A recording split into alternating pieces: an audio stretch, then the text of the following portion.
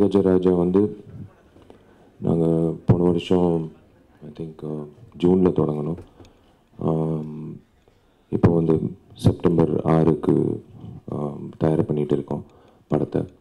இதே படம் வந்து தெலுங்குல என்டிஆர் நடராஜு தானே ராஜுன்ற தலைப்பில் சாமில்டேனியஸாக வரப்போகுது. இட்ஸ் கொண்டு பி ஐ திங்க் இது என்னோடய லேட்டஸ்ட் ரிலீஸ்ன்னு uh, நினைக்கிறேன். வரும்போது தேங்க்ஸ் um, டு அன்பண்ணு. இந்த படம் வாங்கணுன்றது um, முடிவு பண்ணும்போது நான் வந்து பத்து வருஷம் ஆகுது.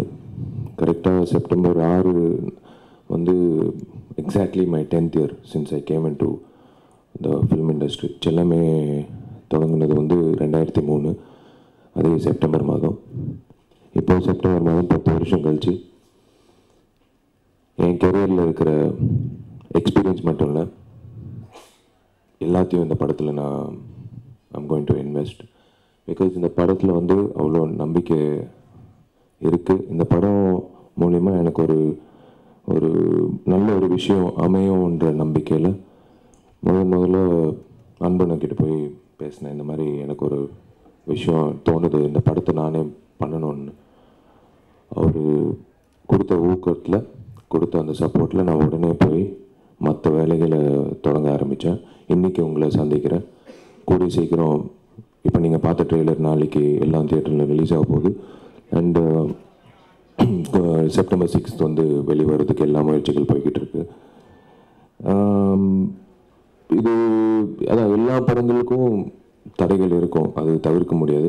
இதுக்கு கொஞ்சம் அதிகமாகவே இருந்தது. பட் இட்ஸ் ஓகே எப்போ ஏதாவது ஒரு நல்ல விஷயம் நடக்கணும்னா அது அது அந்த டைமில் தான் நடக்கும். நம்ம என்னதான் முயற்சி பண்ணாலும் அதுக்குன்னு எழுதப்பட்ட ஒரு நேரம்னு ஒன்று இருக்குது மதகஜ ராஜாக்கு செப்டம்பரில் எழுதப்பட்டிருக்கு. இந்த தேதியில் தான் ரிலீஸ் ஆகணும்னு. அதுக்கான முயற்சிகள் போயிட்டுருக்கு. ஸோ நல்ல விஷயம். எனக்கு சுந்தர் சார் பொறுத்த வரைக்கும் ஃபஸ்ட்டு ஒரு இயக்குனராக ச சந்திக்கும் போது ஒரு இயக்குனராக எனக்கு சொன்ன கதை எனக்கு ரொம்ப பிடிச்சிருந்தது. சார் சொன்ன மாதிரி ஒரு எயிட்டிஸ் ஒரு எல்லாமே பாசிட்டிவாக இந்த சக்கலகலா ராஜா தி ராஜா அந்த மாதிரி ஒரு படம் பண்ணோம் அப்படின்னு சொல்லி தொடங்கி இந்த க கதையை சொல்லி ஓகே பயணத்தை ஆரம்பித்தோம் but I I I have got a very nice friend through this film thank you sir எனக்கு ஒரு ஏன்னா ஒரு விஷயத்தில் கண்மூடித்தனமாக நம்பி பண்ணலாம். பட் இது வந்து பார்த்ததுனால எனக்கு இன்னும் நம்பிக்கை இருக்குது so thank you for giving a lovely film and இந்த படத்தில் நடித்த அத்தனை பேரும் அஞ்சலி வரு சந்தானம் சோனு சூத் எல்லோருக்கும் வந்து நான் நன்றி தெரிவிச்சுக்கிறேன். இந்த வேர்ல்ட் அந்த பார்ட் வெல் குறிப்பாக வந்து இப்போ மனோபல சொன்ன மாதிரி ஒரு பர்டிகுலர் ஒரு சீக்வன்ஸ் இருக்குது செகண்ட் ஹாஃபில் அது அந்த ப- அந்த ரீலுக்கு அவர் தான் ஹீரோ அந்தளவுக்கு கலக்கிட்டு போயிட்டார். ஸோ எல்லாமே இருக்குது இந்த படத்தில். இந்த படம் வந்து அதான் ஒவ்வொரு முறையும் வந்து சுந்தர் சார் சொல்வார் இது ஃபெஸ்டிவல் படம் இது ஃபெஸ்டிவல் தான் வரணும்னு. ஸோ கரெக்டாக வந்து ஒரு ஃபெஸ்டிவல் அமைஞ்சுது. விநாயகர் சதுர்த்தி நோக்கி அந்த படம் அதான் எழுதப்பட்டு அதை அப்படியே போகிற பயணம் பார்த்தா அந்த அங்கே தான் நிற்க வரப்போகுது. ஸோ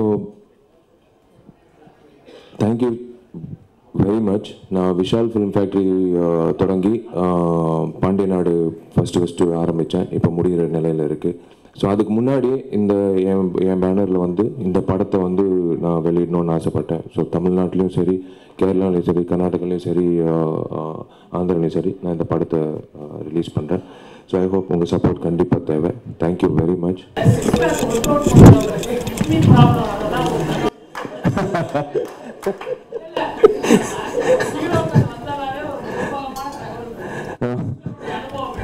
இல்லை எனக்கு கரெக்டாக தான் இருக்குன்னு நினைக்கிறேன்.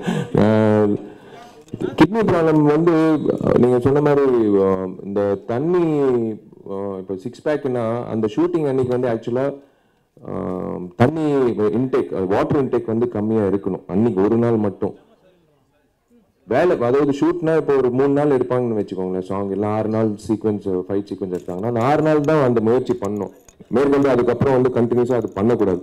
ஒருவேளை அது இப்போ பாடி பில்டர்ஸ்க்கு வந்து அந்த மாதிரியான விஷயம் இருக்கு. ஏன்னா காம்படிஷன் மேல காம்படிஷன் அவங்களுக்கு வாழ்க்கையே அது அது நோக்கி தான் போகும். ஸோ அந்த மாதிரி சுச்சுவேஷன் தான் ஏற்படும் தவிர அந்த இப்போ நான் இந்த கிளைமேக்ஸ் முடிஞ்ச உடனே அடுத்து என் கையில் என் கை வந்து அடுத்தது பிரியாணியில் தான் வச்சேன். ஸோ ஃபஸ்ட்டு அது அதுக்கான என்ன சொல்கிறது அந்த விஷயம் முடிஞ்ச உடனே you have to get back to normal lifestyle அது கண்டிப்பாக நம்ம லைஃப் ஸ்டைல் ஒன்று இருக்கு இல்லையா அமைப்புன்னு அதுக்கே அதுக்கு போயிடணும் திரும்ப.